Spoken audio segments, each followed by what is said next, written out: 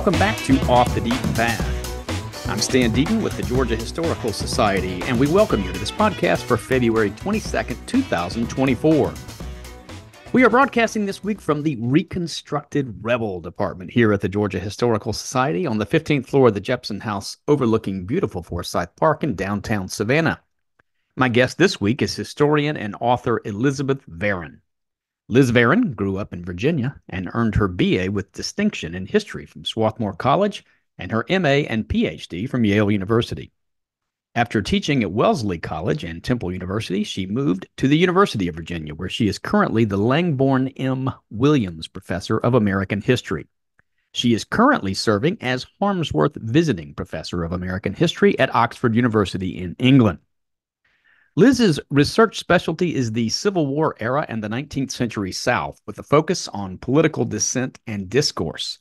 She is the author of many books on these subjects, including Armies of Deliverance, A New History of the Civil War, published by Oxford University Press in 2019, which won the 2020 Gilder Lehrman Lincoln Prize and was named one of the Wall Street Journal's best books of 2019.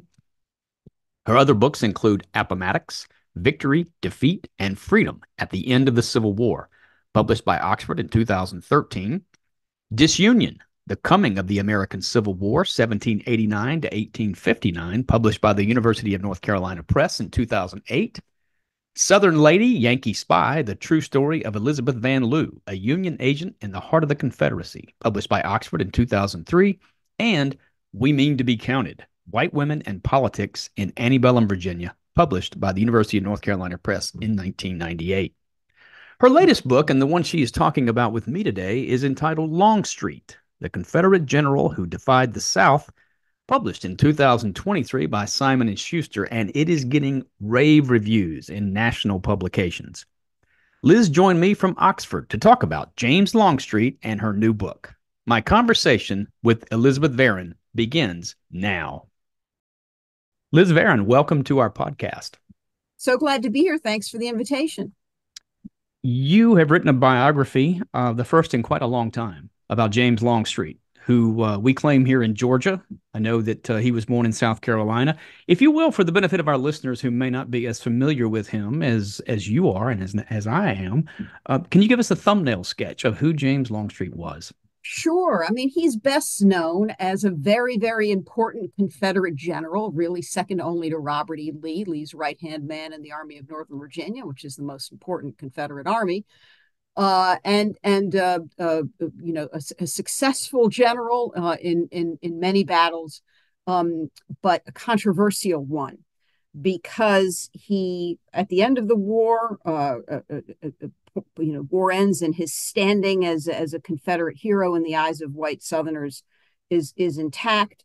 Um, at the end of the war, in the early days of Reconstruction, he has a sort of political about face, a turnaround. I call it a, a, in this book the the most remarkable political about face in American history. You know, that's debatable, I suppose, but it's hard to think of a more remarkable one, which he embraces Reconstruction and Lincoln's Republican Party. We'll come back to all of that in any case, that political uh, about face um, is makes him uh, vulnerable to to uh, criticism, the target of some very very uh, sort of hot tempered criticism from unreconstructed uh, Confederate uh, rebels, ex ex rebels, um, who is part of a political backlash against his his political change of heart essentially cast him out of the Confederate military pantheon retroactively and blame him for the South's defeat at Gettysburg in particular. He had famous disagreements with Lee about the strategy and tactics for that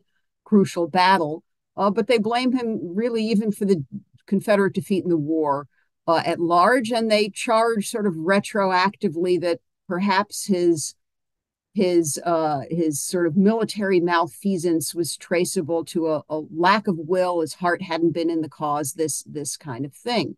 So this leads to a litigation and endless relitigation that begins in his own day and carries down to the present day of his military record. Do, you know, was he, uh, you know, incompetent or insubordinate at Gettysburg? Does he deserve blame as a scapegoat or maybe the principal scapegoat? For Confederate military defeat. Military historians have debated this endlessly. No one will ever get the last word, needless to say, because the source record is complicated. And I know talking about sources is one of the things we, we have on the docket for, for today. So um, people have a sense of those basic outlines of his story. I was really struck as I read about Longstreet, a sort of Southern maverick. I have a, I, I'm interested in sort of dissenters and mavericks and people who depart from the the the sort of well trod path. I wrote a biography of a woman named Elizabeth Van Lew, who was a white Southern spy for the Union in Civil War Richmond. Um, Longstreet, a, a maverick. I, I, was struck as I as I read and reread his story that while we know a great deal about those, you know, three important days in July of 1863 at Gettysburg. Um, and and and a great deal about his military record again with with uh, various verdicts, largely negative verdicts, having been offered over over the years. We knew relatively little about his nearly 40 years after the war as a political operative for the Republican Party. And again, to you know remind your listeners, the Republican Party in this period is the party of Lincoln, of emancipation, of the Union war effort, of Black enlistment, of the enfranchisement of Black men, of Reconstruction. In other words, a party of all that white Southerners were taught to sort of loathe and fear. Longstreet's embrace of that party, his career as a sort of iconoclastic critic of his own society, his career as a quite canny politico, holder of many a patronage post, attempt uh, a, a, man who attempts to build a Republican Party in places like Georgia in the face of a lot of opposition. Uh, all of this I felt had gone, um, you know, s- uh, sort of uh, un- understudied, and uh, and and that you know, furthermore, Longstreet has a bit of a reputation for having been a kind of gruff and, and surly man of few words. He was, uh, I found him to be a, a, sort of voluble, prolific man who left behind a sort of vast body of work of political thought speeches, dispatches, letters, 690 page memoir, and so on, all of which I felt uh, we, we, we needed to analyze it, uh, uh, you know, closely. So in a way, the goal of my book is to take a relatively familiar figure, certainly familiar to Civil War buffs, and reintroduce him to the public as someone um, who who we we don't know nearly as well as we might have imagined that that that we did you uh, are a biographer. You mentioned that you have one under your belt already before this one, and you're working on another one. Um, I had a, the great good fortune to work with William McFeely yeah. as a master's oh, student, and, yeah. and as you know, wrote a Pulitzer Prize winning biography of. U.S. Grant. He told me one time that he found it impossible to think about writing a biography about somebody with whom you didn't in some way empathize, that you felt not, if you didn't feel a connection would you agree with that? Did you have a connection with Longstreet before you started this, or did you create one? Did someone uh, come uh, through yeah, your research? I don't, that's I mean uh, that's an interesting perspective, but but I, I don't I, I you know I, I don't think it's necessary to have an empathetic connection. I think what you need is a deep fascination uh, and a determination to to get things right. You know what I mean? I I, I didn't. I was I, I I in no way wanted to seem to rehabilitate Longstreet. I have no no interest in that whatsoever. Uh, what I wanted people to do was to to grapple with this the complexity of his story, um, and and and to uh, uh, uh, you know to, to understand the nuances of it. And and he's a particularly compelling subject because he lived this long life uh, all the way from 1821 to 1904. So his his life is a window into the origins of the war, the course of the war itself, Reconstruction, the post-war period, and the memory of the war, and into things that continue to royal American society, race relations, political polarization, uh, debates about memory and memorialization. He's he's sort of living all these topics in in real time, and and so I was. I, I felt passionate about the the work, but but the passion was about was about uh, you know getting to the bottom of the story, solving some puzzles, uh, and and and using sources to solve those puzzles. And the puzzle at the heart of the story is why does he have this political turnaround? Um, uh, you know, he, he and I felt that that was something that his previous biographers hadn't spent enough time thinking about, hadn't explained adequately. Um, you know, uh, uh again, no biographers ever, ever going for an absolutely definitive uh, explanation, but you want the the one that is best sustained by the sources after a careful consideration of them. Um, you know, I, I was uh, uh it, it, Longstreet ends up in some very compelling ways fighting on behalf of Reconstruction, and that's that's something that I think was was admirable. But uh, but it's important to note um, you know, before he gets put on any sort of, you know, sort of a metaphorical pedestal that that his first choice was for the Confederacy to win the Civil War, and that and that if it had, the, his remarkable turnaround wouldn't have been possible. So I would say, in a way, this is a good way of coming full circle in your question about McFeely. You know, for me, I did feel an empathy and a sympathy for a person in this story, but that person was U.S. Grant who, mm. who is Longstreet's good friend, and and and without whose intervention, Longstreet wouldn't have made the about face. You know, so so. uh um, you know, there there is a, in a sense, Grant is is a hero of Longstreet's story, um, if you will. Uh, so so I mean, it, it, it's it's a great question to ask. Um, you, you need to have a a deep fascination with a biographical subject. You don't have to like them. Uh, uh I think empathize with them. Uh, you know, uh, uh, you know, have the impulse to in any way defend them, but you have to have a a, a, a dogged and almost maniacal determination to get to the to mm-hmm. get to the you know to uh, to the bottom of the story. You Longstreet's life breaks down, it seems like very naturally into three parts. Often biographers have to sort of artificially do that yeah. in order to, to get, drop a net on their subject. But his breaks down into the Civil War hero, the Reconstruction controversial politician, and then his involvement, as you mentioned, in reconciliation and his place yeah. in Confederate historiography, if you will. Right. Did you um were you at all reticent? I know you're a Civil War historian.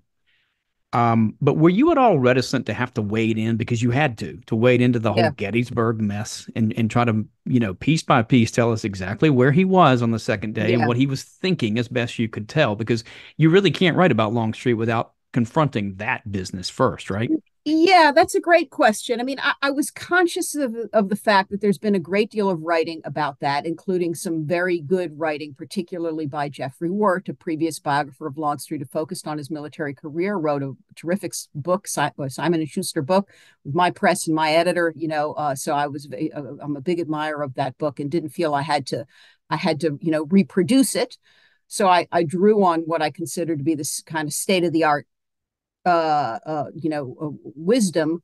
But I, I was I was drawn to re-encountering the Gettysburg story with a particular goal in mind, and that is to tell the reader that which they needed to know about Gettysburg in order to make intelligible the discussion of reconstruction that was to follow. So in other words, I was aware that my my contribution opportunities for an intervention here in Longstreet studies had to do with reconstruction with this post-war period that had been understudied and again that 40 year career some of which it really is sort of completely missing from the longstreet uh, uh, literature um, but the particular cha- narrative challenge was to say okay uh, uh, you know what what does the reader really need to know? And i ended up you know concluding that what the reader really needed to know about gettysburg was that as you put it in in the moment longstreet's own sense of things was that the delays and, and decisions that for which other people would later take him to task, he felt in the moment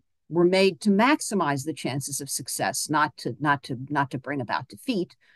You know, secondly, that in his own in the moment accounts of the battle, he stressed his ultimate deference to Lee. He didn't agree with Lee's plan. He would have again, you know, famously preferred uh, to fight on the tactical defensive, to dislodge from the unfavorable low ground in front of Cemetery Ridge, and and move to the left of the Union Army and get between it and D.C. and invite the Union Army to attack the Confederates in a sort of Fredericksburg style trap.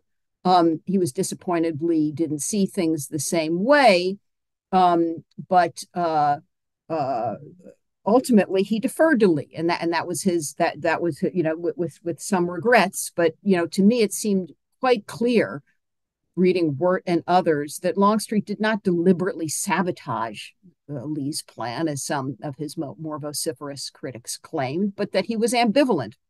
And there's a big gap between you know ambivalence and and you know the charges and accusations of sabotage. And then the third thing I felt that it was really important for my readers to know as they waded into the post-war period was that at the end of the battle, in the summer of 1863, fall of 1863, and beyond, right through to the end of the war, um, in the eyes of the Confederate public, in the eyes of the Confederate High Command, in the eyes of the Confederate press, in Lee's eyes, Longstreet was not a, a, a major scapegoat for the loss of Gettysburg or for the, the turn that the war took. There was plenty of blame to go around at Gettysburg, and various people uh, uh, come in for for blame. Jeb Stuart, of course, and Ewell and Lee himself, and so on.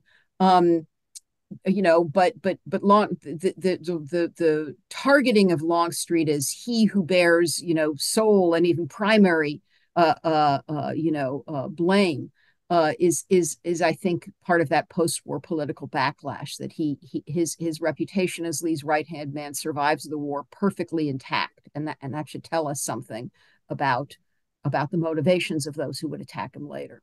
And it really it seems like it all is it's they were looking backward through the lens of his post-war reconstruction Republican politics. And they said, aha, yeah. now it all makes sense is what happened on yes. July 2nd, right?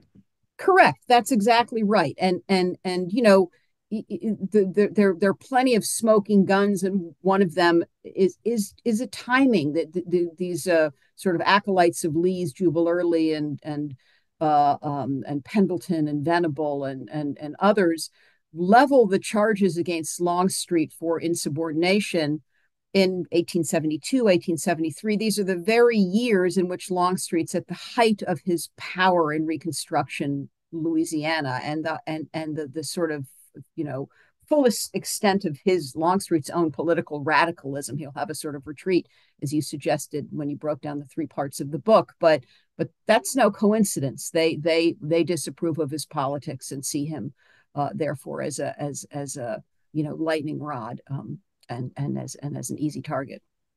Going beyond the um, official records of the War of the Rebellion, as they're known officially, those 120 something volumes of official military records, how difficult was it for you as a biographer and a historian to get underneath all those layers and discover the person of James Longstreet? Correct me if I'm wrong there was a fire at his house in Gainesville yeah, years later, and I don't know right. what percentage of those archives were destroyed there. What's left to learn? I mean, not not what not to learn, but how did you discover? How did you go? Yeah, it? It, it is it is a challenge, you know, uh, uh, because many of his personal papers were lost. Many survive in archives, uh, you know, around the country. We mentioned uh, uh, Georgia archives. Um, uh, you know, UNC, UVA, Harvard, uh, all kinds of places have bits and pieces of uh, Longstreet correspondence, for example.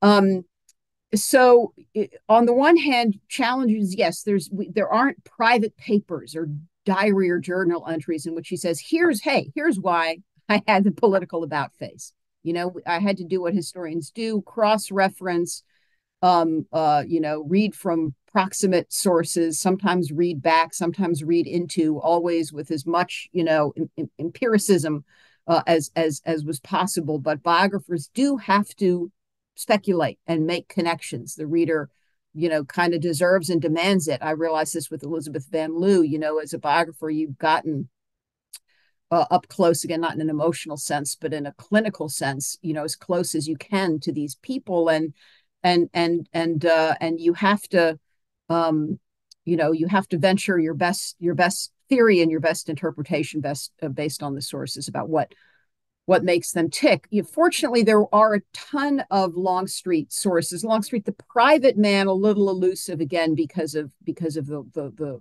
lack of extended journals and diaries. But Longstreet, the public figure, as I put it, you know, produced a vast body of work, and and and that included things like newspaper interviews that he gave many, many of, you know, that he loved to lean into and sort of pontificate on the issues of the day. Um, you know, there are quite a few wartime records of his letters to Lee and others, uh, uh, in which we get a sense of his morale. I mean, that's a, an, another sense in which I, I, I welcomed the chance to revisit the war was to think not so much about tactics and strategy, which weren't covered so well, but about ideology and morale. And, and we can tell a lot about his ideology and his morale from existing wartime sources, speeches he gave, letters he wrote, and so on. But the, part of the point of the book is that in his post-war life, he is very much a political animal and a public figure. And and and uh, you know, we have the probably the most important thing to note again for your readers is that at the end of the day, we have this 690-page memoir, uh, most of which was a defense of his wartime record, but there are some other sort of telling passages uh, in there: praise for Grant, criticism of Lee, reflections on on the kind of uh, Achilles heels of the Confederate war effort, and so on. Um, you know, so ultimately, I, I felt that there was a, a, you know, quite a vast source space, but that much of it really had to do with Longstreet, the public man, and that that was fine because Longstreet, the public man, was what interested me most. I, I, I, uh, you know, this is in part a book about Longstreet, a symbol, Longstreet, a cipher, Longstreet as someone onto whom people's political agendas could be projected, and Longstreet as someone who projected his political agenda onto others. Uh, and and and uh, you know, to me, this was important. The portrait of him that's come down in previous biographies is is as a man who was politically inept, who who didn't mean to appear radical, who had you know who who got out over his skis, you know, as we might say today, and allowed himself to be painted as a as a as a as a you know as a as a dissenter and a, and a radical and a challenger of the lost cause in ways that he he wasn't deep down inside. I I, I think that that's just wrong. He he he makes a commitment to the Republican Party in 1867. He has multiple off ramps, but he doubles down and doubles down in ways that are extremely surprising. And um, you know proves to be quite politically savvy and one of the sort of premises of the book this is a general conclusion from my study of grant and lee and others is that you know you don't get to be a a powerful general without having some political skill and and i i i, I thought that longstreet showed a showed a, a sort of great deal of political savvy so he he was all in on the Confederate cause. He was yeah. all in on secession. Um, you even make the point, as other biographers have, that he um, accepted a commission into the Confederate Army before he had officially resigned from the U.S. Army. Yeah, yeah. Um, which I know Jeffry Wert says was, you know, he translates honor into dishonor at that point. So he's yeah. all in throughout yeah. the entire thing to the very bitter end. He's all in, and then in 18, so he accepts defeat at Appomattox.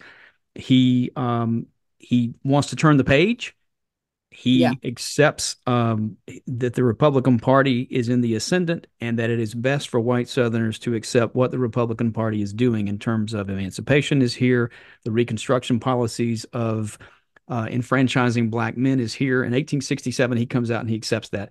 What makes him different? He followed the same trajectory yeah. as all these other people who not only went yeah. through the war and then became even more bitter they became right. lost causers, right? right? And the heart of the lost cause is that we, we didn't really lose, and our cause was as just as the unions or the United States right. or whatever, however you want to phrase it. So, what makes him yeah. different? What was he drinking that no one else was? Yeah. So, I mean, there, it, it, they're really the, the way I uh, ultimately sort of explained the turnaround was to say it's a convergence of factors, not not one.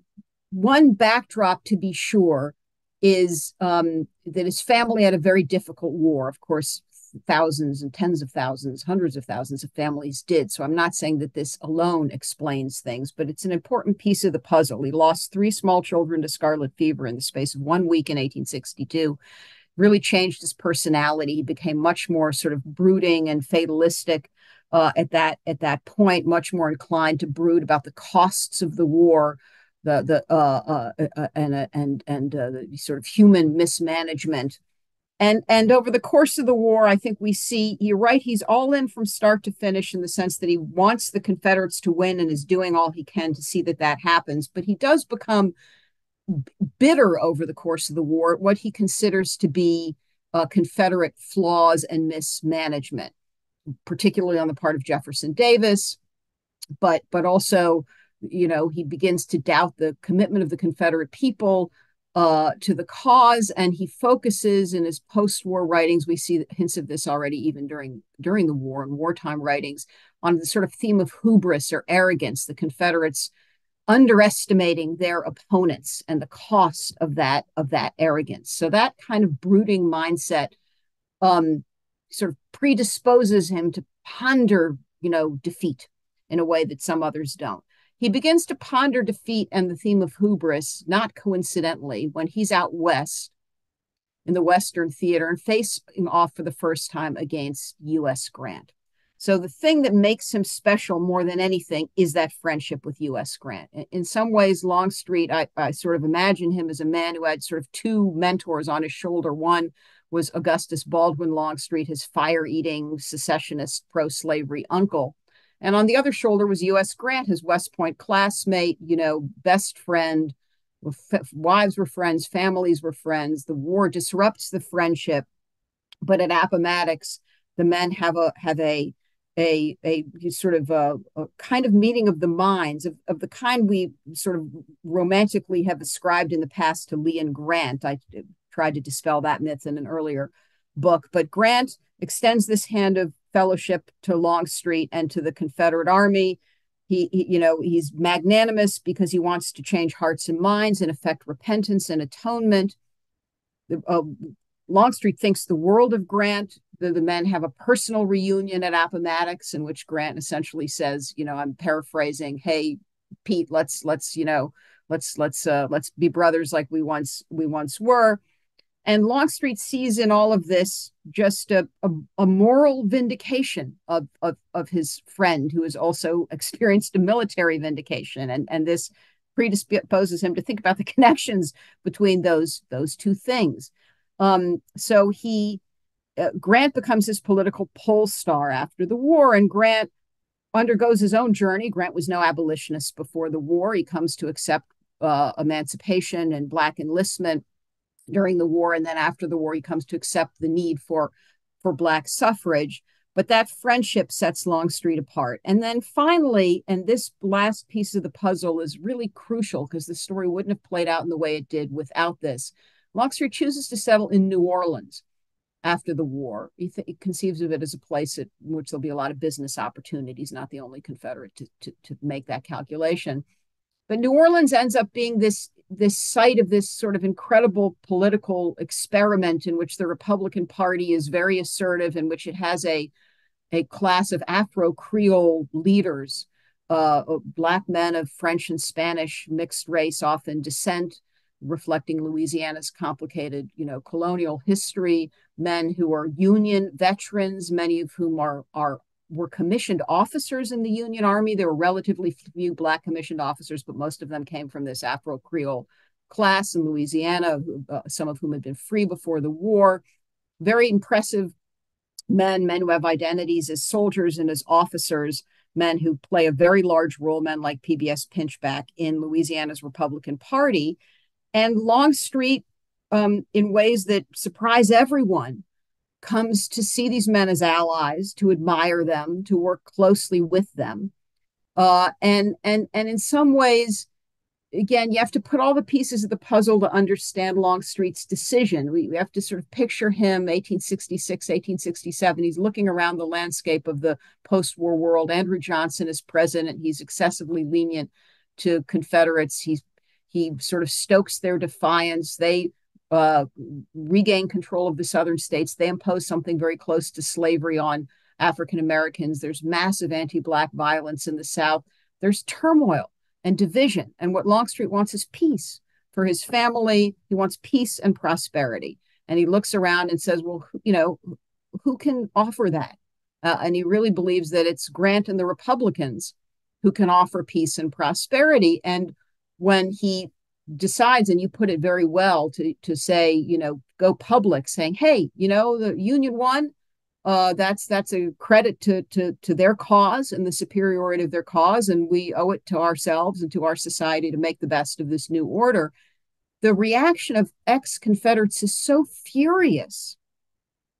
You know they call him lucifer judas you know they wish he died in the battle of the wilderness and so on that it just it just uh, for him vindicates the idea that these ex Confederates don't really want peace. They just want to fight the war now through political means. You know, when what he wants is peace and tranquility. And again, to understand the depth of that desire on his part, you have to understand the personal loss, the friendship with Grant, the the the the promise of this New Orleans setting uh, and, and and all of those other factors. So I mentioned that you you had to get down in, into a little bit in the weeds uh, uh, um, in talking about the second day of July, yeah. 1863. You had to go through that. Even more impressive to me is that you had to get down in the weeds with the Byzantine politics of Louisiana during Reconstruction. Did you know yeah. anything about this except on a really general I mean, level before? I didn't know a lot about it, but the one thing I knew, I knew it was worth getting right, and here's why. So I told you I wrote a biography of a Southern white Southern Unionist named Elizabeth Van Lew, who who was a spy for the Union and for U.S. Grant in Civil War Richmond.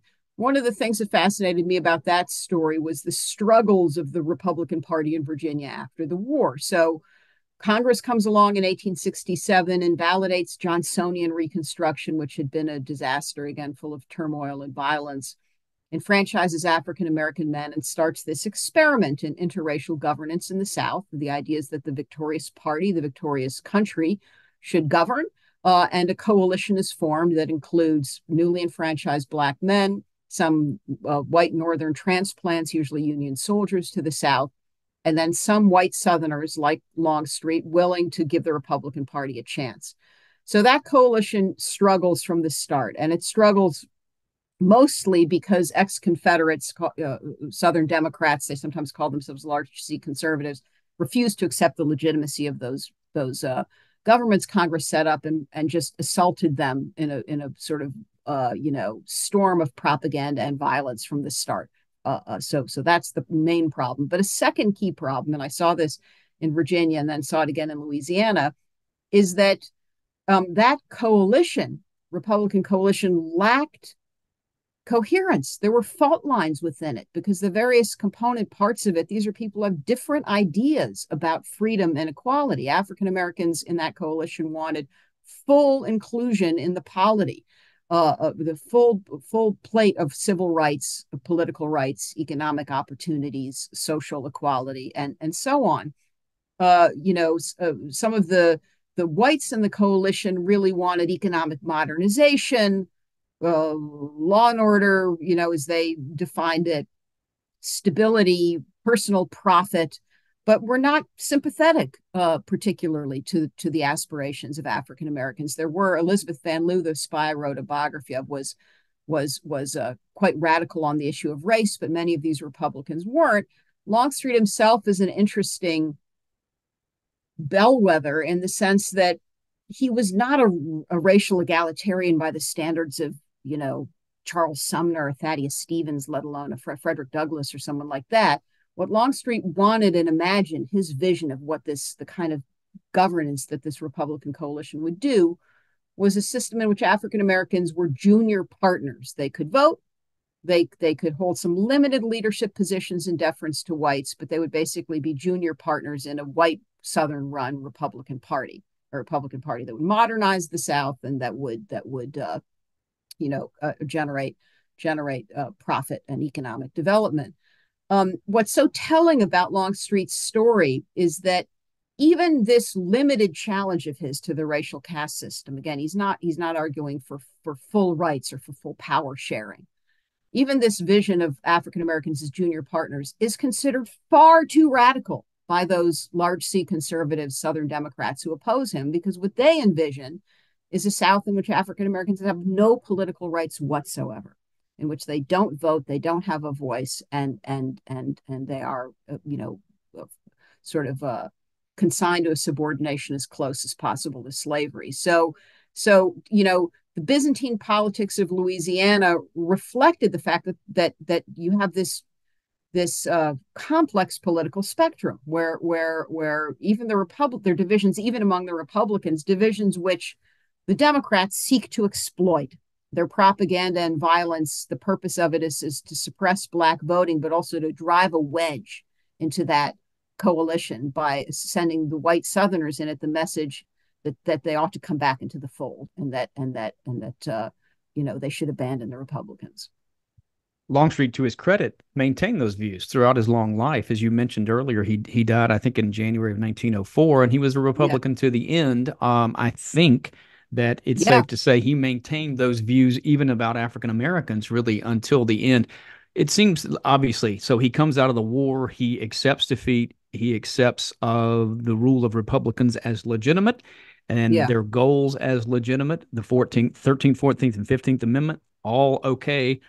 Yeah. But then he crossed the line by criticizing Robert E. Lee, right? For yeah. many people, that was that was the trifecta. That that's what yeah. really did it. Talk about yeah, that for just a little bit. Yeah, that's exactly right. So so I, I should I should mention briefly because this is really in, in a way the heart of the book the the hopes for Reconstruction come crashing down in September of 1874 when what white supremacists called White Leagues, sort of Louisiana version of the Klan, essentially attempts a coup and attacks the you know lawful state government, Republican state government of Louisiana in a street battle in New Orleans, in which Longstreet leads a interracial state militia, of which he was the the the commanding general against uh, you know insurgent insurrectionists, white leaguers who are trying to overthrow the government. And and while the the they succeed temporarily, order is restored by the federal army, but it sort of marks the beginning of the end of Reconstruction in Louisiana. Eventually, federal troops are removed from from uh, that state and from the South, and Reconstruction falls and and and a one party white democratic rule uh, is reinstated in the south during the long jim crow era so Longstreet at, at that point, um, it feels pretty battered by this experience, the way the way that the Louisiana experiment, you know, is eventually undermined and, and crashes down. And he then we enter the Georgia period of his story, and it's a hugely important part of his story. And this was something that was re- uh, previous biographers really rushed through, though though chronologically, you know, Longstreet spends decades in Gainesville, Georgia. Um, uh, you know, a, a, a, place where he has uh, uh, kin and roots, and in, in, in, which he he he uh, uh begins to build a new, uh, essentially a new political base. So in this Georgia period of his life, to, as a little connect connector to what you just mentioned, he remains a committed Republican.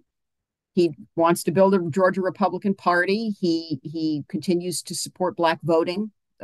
African Americans make up the vast majority of Republican voters in Georgia he promotes black office holding. Um, but his main priority in that those last Georgia decades of his life are to defend his military record against this this concerted attack by uh, ex-Confederates and, and, particularly those who want to elevate Lee as a sort of faultless, you know, saintly marble marble man who could who could be blamed for nothing.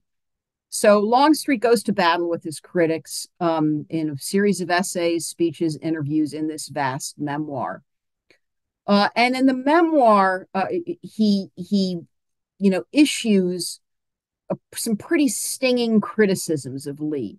Um, he, he sort of kid gloves initially, but eventually anger, a sense of having of injustice, of, lies having been spread about him. For example, a popular lie of his critics was that Lee had offered a, issued a sunrise order on July second for Longstreet to attack uh, the Federals at dawn. There's no sunrise order, but it's got repeated enough that is sort of, you know, people began to believe it.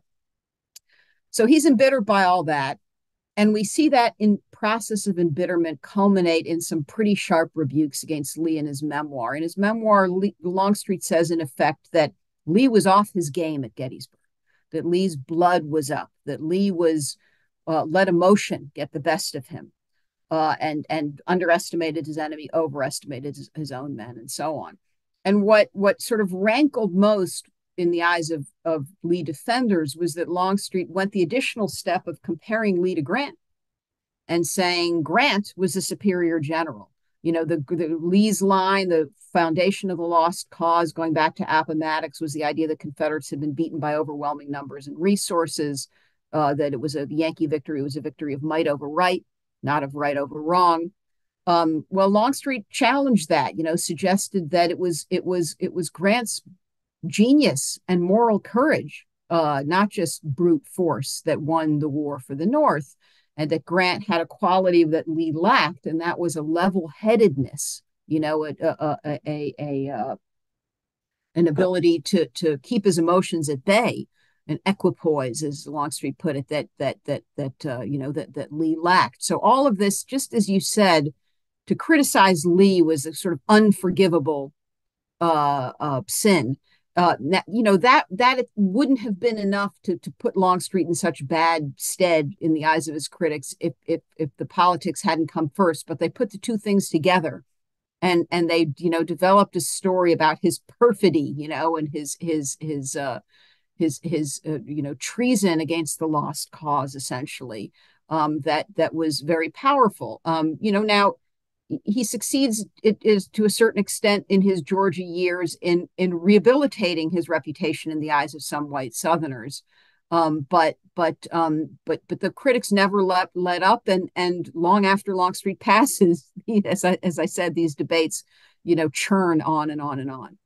You've mentioned his political career beyond um, Reconstruction that went on, and in fact, you talk about his. He served as a U.S. Marshal. He served yeah. as U.S. Minister to Turkey, and you yeah. don't skimp on that. You talk about how he performed in those roles, how he got those jobs, and how he tried to continue to and sort of insinuate himself into every Republican presidential administration. Absolutely, and it's very important to note you know, uh, uh, thinking about Georgia politics in particular. So after Reconstruction, the Georgia Republican Party is is is on its heels. I mean, because of all of the tactics, Jim Crow tactics, infamous Jim Crow tactics that we know so much about.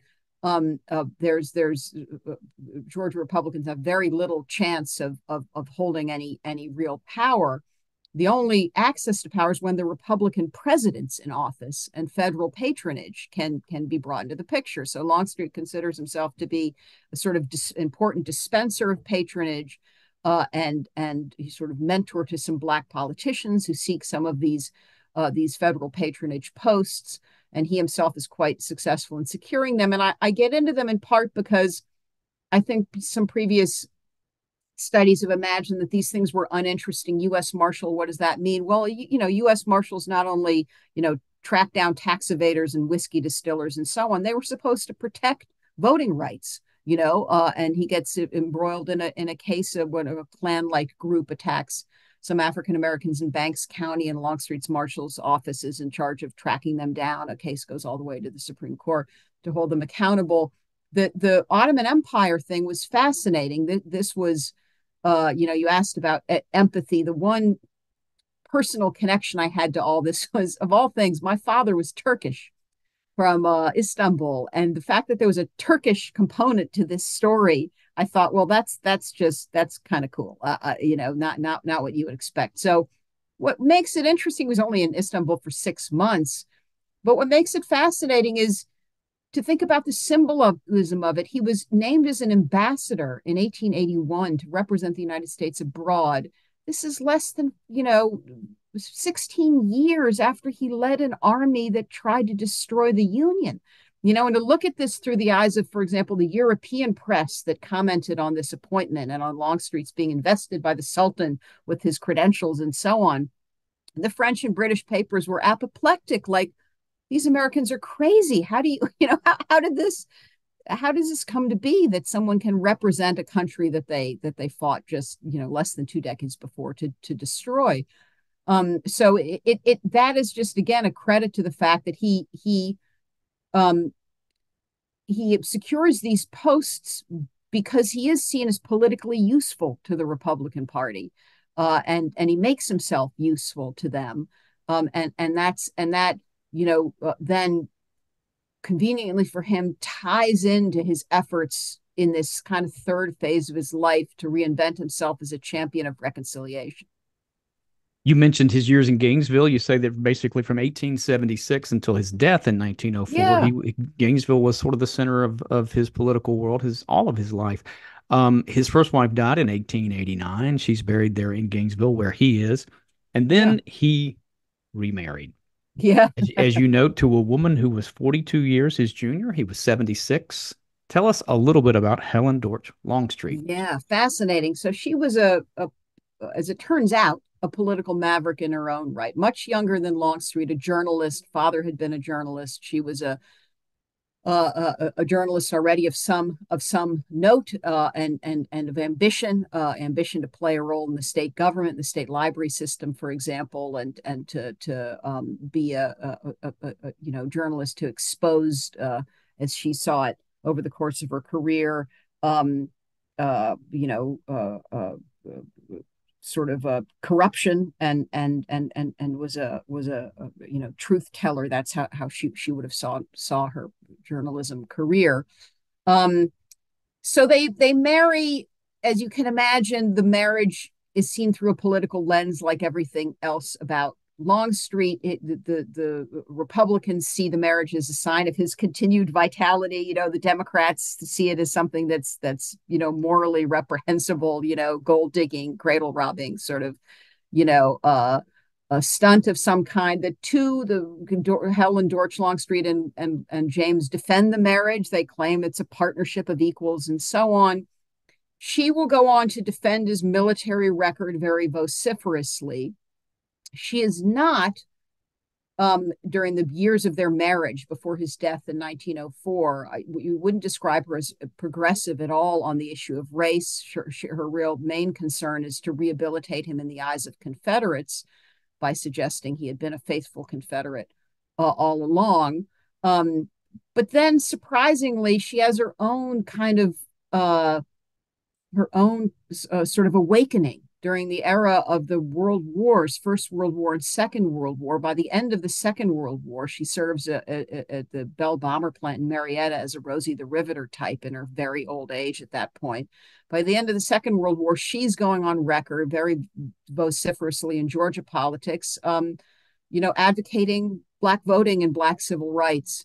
Um, and and and becomes a sort of heroine uh, uh, uh, you know, in the eyes of some of some uh, you know, black civil rights activists in, in, in the South and, and, and even in the North, and her own turnaround. As we were laughing before I, I we we started this conversation, somebody needs to write a biography of her, and it needs to be someone who understands that that period of the two world wars very well because it's black military service to the United States in those wars that is the the heart of her own conversion and her sense that this is uh, you know that again uh, they have earned uh, civil rights and voting rights and, and and a place in the polity and so on. So her own journey is is is uh, you know is fascinating in its uh, in its own right and and um, um, you know it means in effect if you think about Longstreet born in 1821 and Helen Dortch Longstreet dies in 1962 you put the two lives back to back and there is a kind of uh, you know saga of of of the south you know that that the two stories together tell and again you know in her her own journalistic career she she considered herself somewhat of a preservationist and environmentalist um uh, uh, eventually comes to support women's suffrage very vocally. So there's a journey of her own that that's you know someone ought to ought to ought to really uh, trace carefully. But it won't be you. It won't be me. No, no, no. So Longstreet dies in 1904. She dies in 1962. Um, and in between, there's, of course, a whole host of biographies written about the Confederate chieftain Robert E. Lee, chief among them, of course, Douglas Southall Freeman, many others. Right. Yeah. Um, and but but you you take us all the way through to the really the beginning of the rehabilitation of Longstreet's reputation, yeah. which you chart as being 1974's Killer Angels by Michael Shaara yeah. which was then turned into a movie, right? 20, 20 years yeah. later. Yeah, yeah, yeah. So I mean, I think that there is, you know, for for Shaara and some some others, Longstreet and Lee represent this kind of you know passion play. Lee representing a sort of uh, older, sentimental, romantic, and somewhat outdated uh, view, and Longstreet a more kind of clear eyed uh, realism. Um, that that rehabilitation had to do with Longstreet's military uh, record and performance, uh, and and you know it, it, uh, uh the rehabilitation was by no means uh, sort of complete in the sense that Longstreet has had his critics since then um, among scholars who feel that his that he made you know many many blunders in his in his military military career. Um, you know, to me the the interesting sort of part of this is to think about the ways that Longstreet tried to jumpstart a rehabilitation while he was alive, and how he it was the theme of reconciliation or reunion that enabled him to kind of begin that um, that work. He sort of refashioned himself in the last years of his life as as a as a champion of the the reconciliation of North and South as a guy who had been able to see long before others could that both sides were going to have to yield some and make some concessions if there was going to be reunion. Um, uh, uh, and and he had some partners in this. One of the Georgia aspects of the story I've really tried to bring to light is that entities like the Atlanta Constitution and and its powerful editor Henry Grady you know, really saw him as useful, you know, wanted wanted to kind of sign him on with their new South agenda, wanted to neutralize him politically, sent him various messages that that, you know, he could be restored in the eyes of white Georgians if he if he just backed off his politics some and and they he sort of played a cat and mouse game with them, you know, they made sort of mutual use of each of each other. Um, so he was able to, by the time of his death, uh, uh, uh, claw back some of his lost popularity among white Southerners, which is uh, which which is interesting, and and much of that had to do with an increasing willingness, especially as he got older and seemed less of a political threat, uh, uh, an increasing willingness of people to compartmentalize and say, okay, your political career is over in one box and your military career is in the other, and and and and a willingness to praise him for his military career and kind of put his political career off off to the side. So um, so he he you know uh, sort of gets that underway. Um, Helen Dortch Longstreet wades in after she dies because she's very well aware that without Longstreet around to speak for himself and to parry the blows of his critics, you know that that that um, that effort at self rehabilitation could easily be be unwound. Uh, and so we, you know, we see we see sort of peaks and valleys in his in his in his uh, military reputation. And again, part of the point of my book is to say, you know, as interesting as all of that is, um, to think about Longstreet, the public man, Longstreet, the public figure, Longstreet, the prolific commentator on American politics, that long career that's a window into Reconstruction and its demise and the Jim Crow era and the and the the cult of reconciliation. Um, you know all of that is just as interesting you know believe it or not as as as uh, the the more familiar battles about about gettysburg. You end by saying longstreet's story is a reminder that the arc of history is sometimes bent by those who had the courage to change their convictions. As we live through the era now where we're seeing a complete um, pretty thorough, if not complete, um, way difference in revision in the way that the public sees the Confederacy. Right, we've seen statues and monuments coming down, names coming off of military bases. Uh, the idea that at long last the reconciliation is coming apart um, because it was forged right over the rights of African Americans. Yeah. Does Longstreet look different to us now? Not only because he did have the courage to change his mind, which we always, yeah, at least we used to admire people like that, Right. But does he look different because of the lens we're seeing him through now? Also, because yeah, the Confederacy. You know, ab- absolutely. I mean, you know, uh, uh, before this biography was published over the course of the past few years, as we've been grappling with these issues of memorialization uh, and and memory, uh, you know, a, a, number of people have written, uh, you know, editorials and op-eds and so on, asking the sort of obvious question: Where are the monuments in the South to James Longstreet? What does the absence of those monuments mean outside of Gainesville? Uh, uh, uh, you know, none to be found in the South, and he's been held up many times as the exception that proves the rule. That is to say, those monuments were monuments to white supremacy, to Jim Crow, uh, uh, uh, you know, to, to, to, to the racial politics of the Confederacy. And, and proof uh, uh, of that is that, is that Longstreet, who was not useful as a symbol of any of those things, uh, though he had been a very important military leader, wasn't memorialized in, in, in that way. So we, we, we are, all that's happened in the past 10, 15 years has sort of primed us to, to recognize the significance of this. You know, he's, he's relevant uh, to, and we we see him, I think, as a number of op-eds have, has have uh, noted, in a new light because of January 6th insurgency. There were, you know, people drew parallels not in, incorrectly between January 6th and things like that Canal Street Battle of 1874 that I mentioned, and and and uh, there are lessons about the about accountability, the need to hold insurgents accountable, and so on that can be drawn uh, from that from that uh, comparison. You know, to me, Longstreet was, for all the limits of his racial egalitarianism, and they're very important to recognize, he was a clear and present danger to lost cause orthodoxies. And what the lost cause, as you said, the lost cause at its heart was the argument that the cause was not lost, but that that which had been lost on the battlefield could be won by various forms of political prescription and racial prescription. Um, but the lost cause was also a screen that was meant to hide Southern history in all of its complexity from Southerners to suggest that there was one history, the official history, the history of a solid South, a solidly Confederate South, and of, of, uh, of, of whites and blacks alike who made all the necessary sacrifices from start to finish in a cause that was doomed by, by you know, Yankee brute might uh, but that was morally flawless and destined to be vindicated uh, uh, and and uh, uh, after the war by the by the defeat of Reconstruction.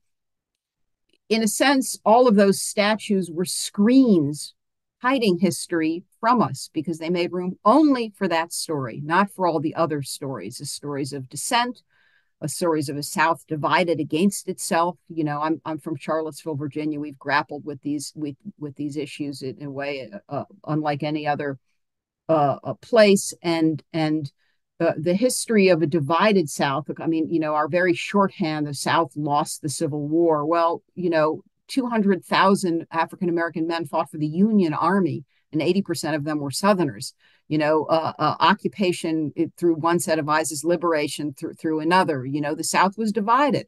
There were these fault lines in the region. They've always fascinated me, uh, and and Longstreet represents those. You know, th- those uh, those those fault lines, and so he remains relevant for that reason too. And part of the the moral of this story is that that monolithic history is not only a a, a, distortion that's been put to some really pernicious uses, but it's also you know, far less interesting than than than the true complicated history of of of, of a region divided against itself. My last question to you is is again as a biographer. Recently, I read an article by Robert Massie, who uh, is deceased now, but he was the uh, Pulitzer Prize winning biographer of Peter the Great and many others. Ah. He talked about the um, the connection, as I mentioned earlier, that one makes uh, to their subject after spending so much time with him. He talked about how reluctant he was, how it was almost like a, the death again of Peter the Great. Um, and and I read other, of other biographers who very reluctantly let their subject go when it comes time. Did you have any problem letting go of James Longstreet? I mean, that's a that's a great question. I would say the answer is no, in part because I, I, I have experience of writing a previous biography. So in the case of the Van Lew biography, I, I had much more much more empathy for her than I than I did for for Longstreet. It was hard to let go of that one, but I discovered that you can let go, move on to the next project, but the biography doesn't let go of you because new information comes to light. I mean, I, I you know, I, I hazarded a whole theory in the Van Lew book about her, the identity of some of her coworkers and some and various things. And and and people were sending me sources years later saying because you know uh, uh, uh hey we're all everyone no one gets the last word we're all still digging you know and based on the digging you did we've done some additional digging and lo and behold here's some new stuff that to learn. So i i i'm very keenly aware that i'm not done learning about longstreet that uh, you know i hope this biography would would would uh would be the, be a beginning not an end point and that and that people will come along and build on it and dig deeper into aspects of it. Uh, i mean the helen Dortch longstreet story is just one obvious example uh, aspects of it that i I, I uh, uh, you know, uh, uh didn't get into. And another way in which my experience pays off is I know now, after many years in the trenches, just turned 60, uh, that you know the only way to let go of a project is to is to get enthusiastic about the next one. You know, so it can it can kind of draw you. And as we as we were you know saying before we we we hit uh, the the green button here on this interview. I've started a new biography of Clara Barton, you know, the world famous Civil War nurse and humanitarian, long epic life that you know uh, is is going to be extremely challenging to to to tell the story of. Um, you know, overlaps chronologically with Longstreet's and with and with Van Lew's, but takes me into all kinds of other worlds because the Red Cross was an international, you know, organization. So um, I, I'm I'm letting the siren song of Barton, you know, sort of sort of uh, steer me into some new waters here, and that's and that's uh, I think turning out to be a to be a good thing. Well, if that one is as good as this one, it's going to be uh, it's going to be saying a lot, and I'm sure it uh, will be. Elizabeth Varon, author of Longstreet, the Confederate General Who Defied the South. Thank you so much for joining us today. Thank you so much for the interview. I really appreciate it. The hardest working producer and engineer in show business, the czar of our Tallahassee office, as well as the captain of the GHS two handed tennis team, is our very own Brendan Cannonball Crellin. Our Director of Communications and Staff Pediatrician is Keith Pinstripe Stragero. The GHS Director of Classroom Indoctrination is Amy Standardized Test Snyder. The captain of the GHS Italian wine tasting team is Rebecca Bierstein Brittina. Our GHS Director of Bean Counting and Big Brother Surveillance is Greg Eye in the Sky Durkin, assisted by our Accounts Payable Administrator, Imelda Checks. The director of the GHS Civil War Beard Division is Nate Brickwall Jackson Peterson. Our Off the Deaton Path fact checker is Ella Fino. The GHS opera critic is Barbara Seville. The Off the Deaton Path staff bookshelf maker is L. Ron Cupboard. Our Director of Employee Loyalty is Upton Leftis. Our staff layoff specialist is Harry Verderci, assisted by layoff counselor Oscar Lavista. Our Off the Deaton Path HR Director is Stella Payne Diaz assisted by our Deputy HR Director, Royal Payne Diaz. The GHS Russian intern this year is Igor Beaver. The Off the Deaton Path Elvis impersonator is Amal Shookup. Our staff director of Three Stooges Studies is Lee Iapolka. Dr. Todd Gross's personal eBay specialist is Selma Junkoff. And our Off the Deaton Path martini mixer, as always, is Olive Twist. You can find our podcast anywhere you can find podcasts. You can find out everything about the Georgia Historical Society at georgiahistory.com. It's a new website, check it out. And the Georgia History Festival at georgiahistoryfestival.org. Be sure and like Off the Deaton Path on Facebook as well. Please also visit deatonpath.georgiahistory.com and check out our videos, dispatches from Off the Deaton Path, my blog, and similar redeemed Rebel podcasts like this one. Stay safe, stay strong. I'm Stan Deaton with the Georgia Historical Society. As always, thank you for listening.